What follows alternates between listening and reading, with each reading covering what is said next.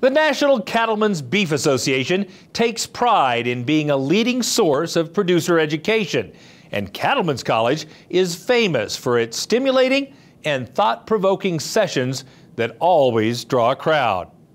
Matt Fleck takes a closer look at this event and why it's so valuable to producers. School was in session for more than 1,500 beef producers at Cattlemen's College in New Orleans. This event, held in conjunction with the Cattle Industry Convention and NCBA Trade Show, is the industry's biggest and most in depth educational program. It's the largest cattlemen's college we've ever put on with 24 breakout sessions.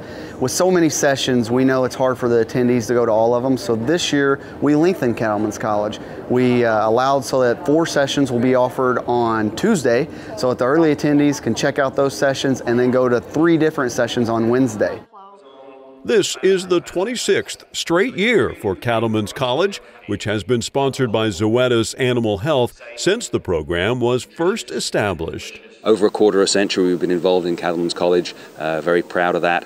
Uh, and these are the customers of our future. Uh, these are the very people who are going to be taking on the herds from their grandfathers, fathers, and grandmothers, uh, and really looking at how the future of the industry is going to be solid for the, for the next quarter century to come.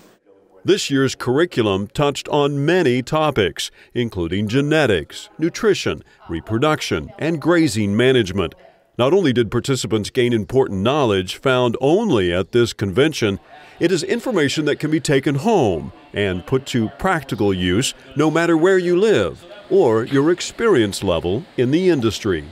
When it comes to the cattlemen, you know, they're from all across the U.S., so we got to make sure we touch every region of the U.S. Not only here in the South where we're at this year, but also those in the West, those in the Southeast, um, those up in the North as well.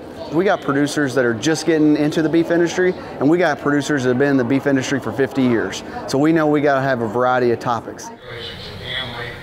I've been really fortunate in my career to, to be on the Cattlemen's College program uh, uh, fairly frequently, and uh, it's really a highlight of the year for me. Um, you get to come and, and interact with cow calf and beef producers uh, from across the value chain and from across the country. And so, you know, it's, it's a good chance for me to get out of Kansas and, and interface with lots of producers. And I always feel like I gain more at one of these meetings from that interaction because um, it, it, shapes the way I think and, and the way I communicate ideas to, to producers.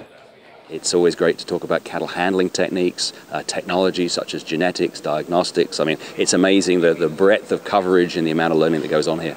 Times move really quickly in the cattle industry. New techniques, uh, new methodologies are happening every year. So this is a great opportunity for people who really want to talk about the cutting edge of cattle production, what the latest thoughts are, uh, engage in that educational content and make sure they're staying ahead of the pack.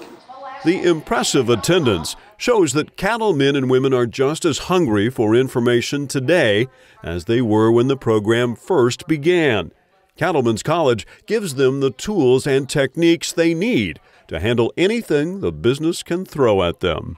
They love the topics we bring to the table because usually they're able to walk away with something, take it back to their farm or ranch to help them make them more profitable or more sustainable. You know, we don't want them to get caught off guard. We want them to be ready so that they uh, don't miss a beat on their operation. We know that they can't do that. Um, you know, time is money, and so we're just trying to help them save time on their operation um, to help make them more profitable. Reporting from New Orleans, I'm Matt Fleck for NCBA's Cattlemen to Cattlemen.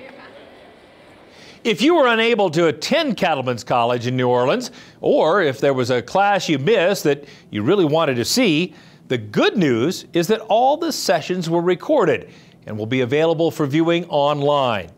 Just visit ncba.org and click on the Producers tab for all of the details.